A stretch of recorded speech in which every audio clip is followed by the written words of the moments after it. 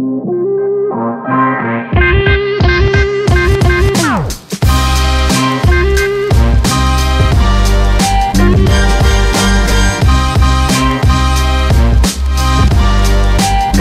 exciting news came out in the National Football League today. Um, a favorite of mine, Stefon Diggs. Shout out to the entire Diggs family.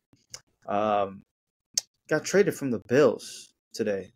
That wasn't shocking because we kind of expected he would be traded, but he got traded to the Texans. That's big because they had a very surprising year last year. Uh, they got Danielle Hunter from my beloved Vikings. Stefon Diggs is also a former Viking, so I like to see them reconnected. Even though um, everyone's succeeding outside of Minnesota, I'm not a fan of that. But I think the Texans are going to make a move. I'm not calling them a Super Bowl pick, but I think they took a step further into their progression. And I'm going to say this is going to be a little, you know, I like to rile up these fans, Cowboys fans. They're the most exciting team in Texas. What do you guys think? Yeah, um, I'm okay with the move with the Bills, man. Uh, do you ever win with a diva receiver? Let's think about it. Terrell Owens, no. Uh, Randy Moss, no. He got close, but that's when he wasn't acting as such as of a diva. Uh, Antonio Brown, they won with him, but he was the third fiddle by that time. He wasn't the man. So, um, I think it's time that you just cut off the leg, man, and, and, and try to walk with one leg for Buffalo, man. It, it might be better if this leg is giving you so much problems. And Stefon Diggs has been giving them hella problems on the sidelines, on Twitter, in the background. And he's one of those receivers like you just don't like on a team. Like you like his fire, but sometimes when you can't control that fire and it's hard to put out that flame, it, it, it burns up the whole team. So when the receivers like he's one of those receivers like he's always saying I'm open.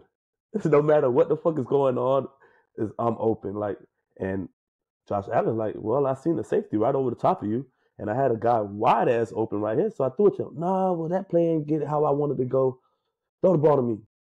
And that really is not the typical way of winning football games. Sometimes it, it, it fucks up the locker room. It fucks up the quarterback mindset of his reads, and he he he don't know where to throw the ball or who to put the ball to. And now the whole the whole situation, the whole team, the whole foundation that they built is fucked up. And it was just time. It was time to go. Time to go their way. I go my way. Let's work. He's already starting to get older. You you you get rid of the person while he still has value. You got a second round pick out of it. You, you take that and, you, you, you find somebody else, somebody who's gonna mesh with your your star quarterback, and you roll from there. That's that's basically what I see. And for the Texas side of it, if if he comes there under control, I mean, for the first season, players are usually at their best. The second season, who knows? Third season, they really start acting out. But if they could get something out of the first season of him being on good behavior, and then they added the DN from the Vikings, they added Mixon. Woo, there, there. I'm still not betting against Mahomes. And Lamar Jackson still got some things to prove and, and, and get some shit right over there with their offense on the receiver side. But I have the Texans third. I'm not putting them above Baltimore yet or the Chiefs. So that's where I have them third. Uh, I think this is the move that had to get done by Buffalo. Uh, the Stefon Diggs story was over up there. He is an absolute diva, and he was a crybaby a year ago, two years ago. He was a cry, a bigger crybaby this year. He didn't perform this year. He had 13 straight games where he didn't have 100 yards, even in games where he caught balls. But he seems like I, I again, I'm not a, I don't live in Buffalo. I don't have the scoop on Buffalo, but it, I think that you could slot receivers in with Josh Allen and he can make and he can help. He can be successful. I think he's a great quarterback, and you give him a, you, you can like I mean, look, Pat Mahomes just won with Doodoo and Boo Boo at wide receiver. I mean, yeah, he had a great tight end, and, but and Kaka. And, okay, Doodoo Boo Boo and Kaka, uh, and, and, and, that's who he had as wide receiver, and he and he won another Super Bowl with that. I'm not saying Josh Allen is Patrick Mahomes level, but can the Bills get back to the division, you know, the divisional round can, or the AFC championship? Yeah. Uh, I know they've lost players. That's football. You know, we know what happens. They're, guys go off of a cliff real fast. You know, the Dolphins just picked up the Bills' safety, Poyer. Um, I hope we get the version that played in Buffalo, not a version that is no longer good, because the Dolphins have a tendency to do that. Get guys when they're whoop, like that.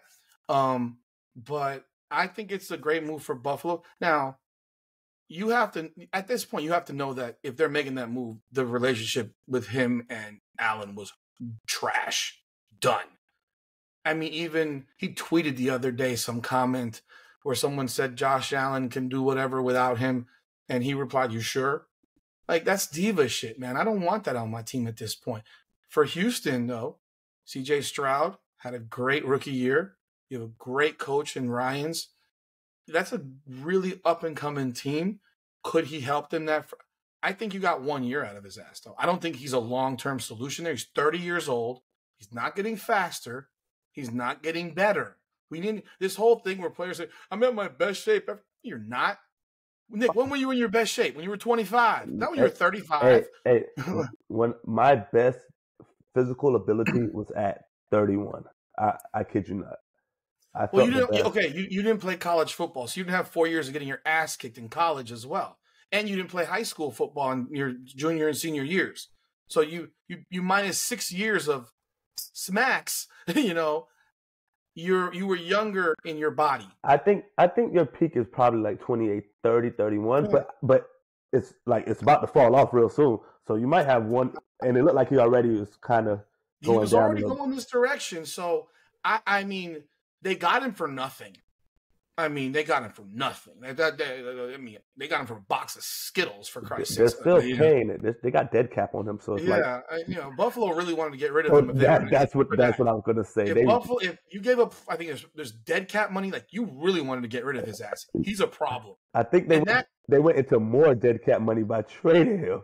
It could be addition by subtraction in Buffalo. And sometimes we'll at work in football, people think it's just about the best players. It's about how well you mesh, man, and, yeah. and how much you trust in your your sidekick and, and other players to do their job. And you're coming into a, a good work environment that you want to work in and be a part of the team. So everybody think, oh, it's just about throwing players together, mixing and matching.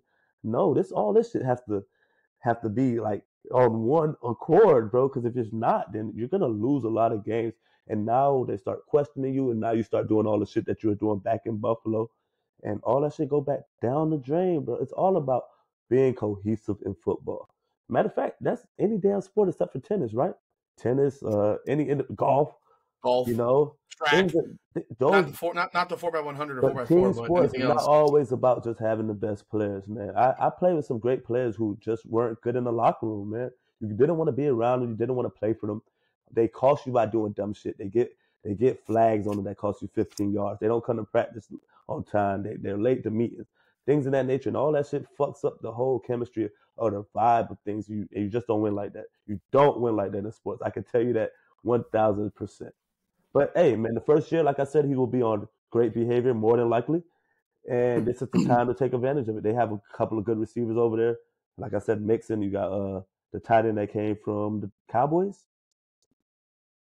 Yes, Dalton Schoen, I believe or whatever his name is, something like that. Or was Dalton Schoen my teammate? Schultz or not? So there you go. Dalton Schoen was my teammate in Winnipeg. I'm sorry. Uh, so I know so, they got a tight end. I know so, they got. It's Schultz from the Cowboys. Schultz from the Cowboys. So because yeah, he talked he talked shit about the Cowboys. Yeah, I believe. So they yeah. have a nice thing going, and they added that DN who who gets like 15 sacks a year from Minnesota. So I got nothing left. I, I mean, they, I think they got a year or two with that, and then they're looking for somebody else. But, but I think, hey, for what they got, what, what they gave for him, give it a try. Give it up. Give it a try. That's fair. Uh, heck, Texans have nothing to lose and everything to gain in that trade. Thank you for watching Come On Now, the podcast.